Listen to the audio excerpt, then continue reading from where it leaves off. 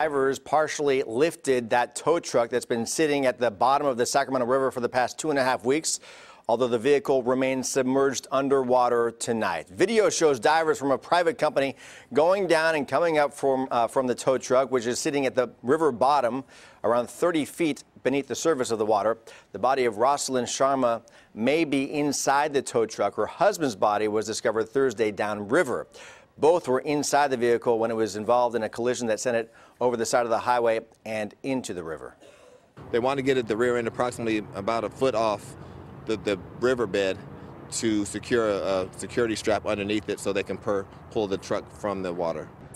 The dive team from the company CS Marine Constructors of Vallejo will try to lift the truck out completely tomorrow.